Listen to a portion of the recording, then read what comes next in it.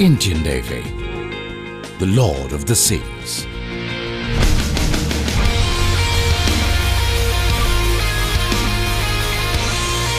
Fights from the waters, strikes from the air.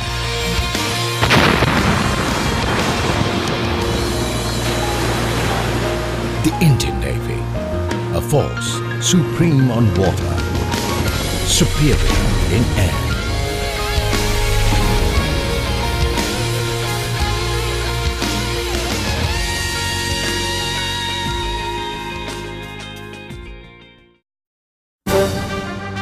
It's just six decades since the first Sea-Land Shorts amphibian flew into Garuda, the first naval air station at Cochin, marking the foundation of our fleet era.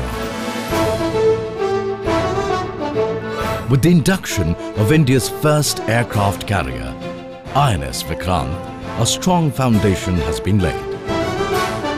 Its first combat complement, Seahawks and Alizé, made Vikrant a formidable fighting platform. Naval aviation was growing, a young force, raring to go.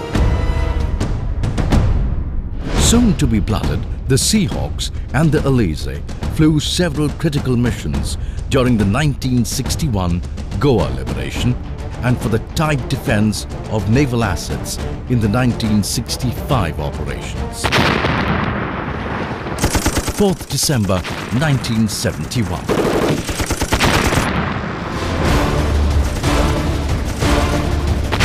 Their rout on enemy installations, Seahawks and Alizé unleashed their rout on enemy installations and ships in the East Pakistan harbors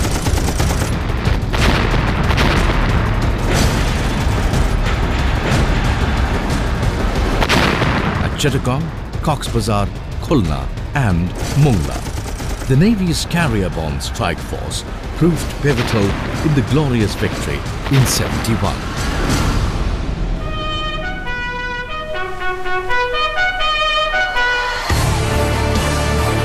Induction of its second aircraft carrier, INS Virat, with its Sea Harriers and the multi-role Sea King 42 Bravos provided the much needed punch, building towards a blue water navy.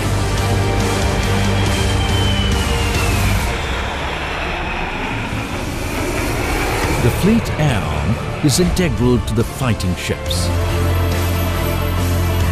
Its rotary wing progressed from operating single-engine Alouettes to inducting the submarine killers, the Kamov 25s and 28s, and the Sea King 42 Bravos. Kamov 31s, the eyes in the sky, bridge the gap in air early warning capabilities of the fleet at sea. The indigenous advanced light helicopter and the UH-3H have become key enablers for shipborne special operations.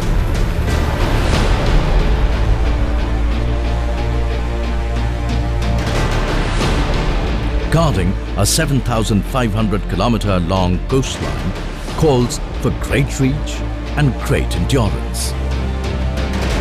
The induction of super constellations marked the beginning of maritime reconnaissance. Soon replaced by the IL-38s and Tu-142Ms, the Indian Navy could now maintain vigil at extended ranges in our areas of interest. The Dorniers specialized in information warfare, boosting the short-range maritime reconnaissance and electronic warfare capabilities.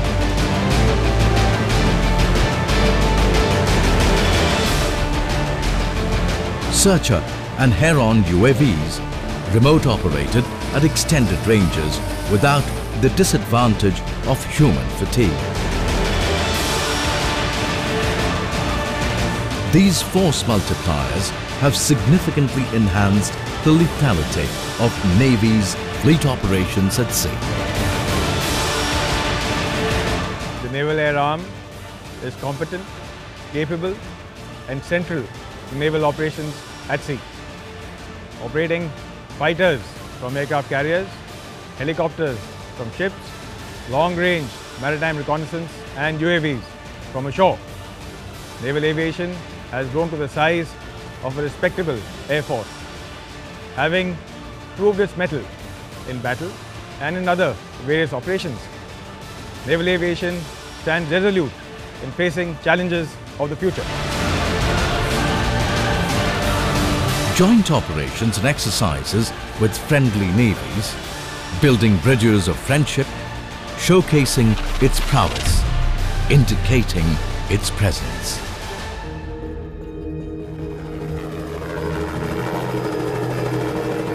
Not just in combat, naval aviation is at the forefront of humanitarian assistance and disaster relief. Be it search and rescue or anti-piracy operations,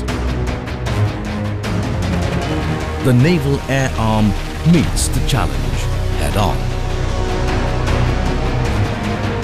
Training is the bedrock of successful operations. The Hawk 132, a fourth generation advanced jet trainer, trains the fighter pilot to be mission ready.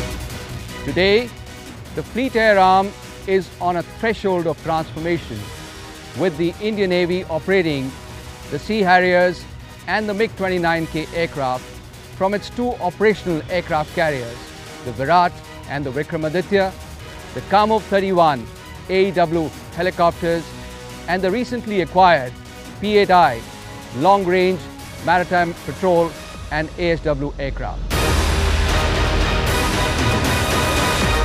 The planned induction of the light combat aircraft, the medium-range reconnaissance aircraft and the multi-role helicopters will catapult naval aviation into the future.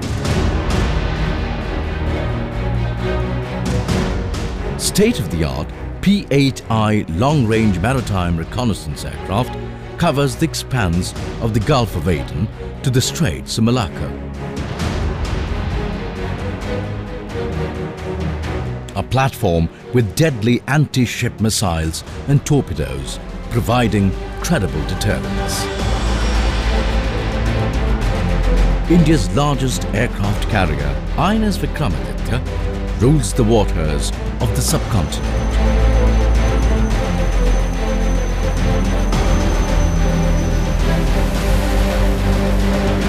The carrier air wing sharpens the Indian Navy's combat edge.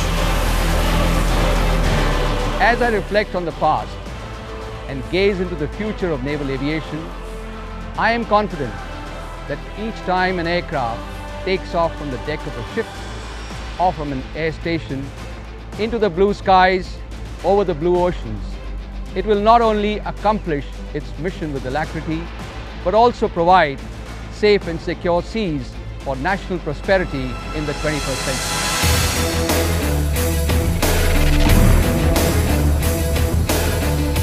Nine air stations. Two carriers.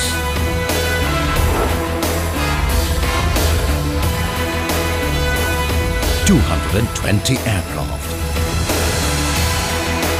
And five thousand men strong. Ever growing with future-ready projects. All set to protect the country's interests. A professional arm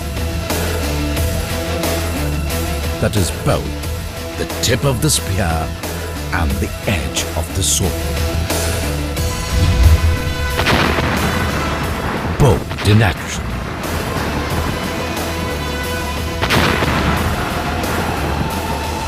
Awesome in power.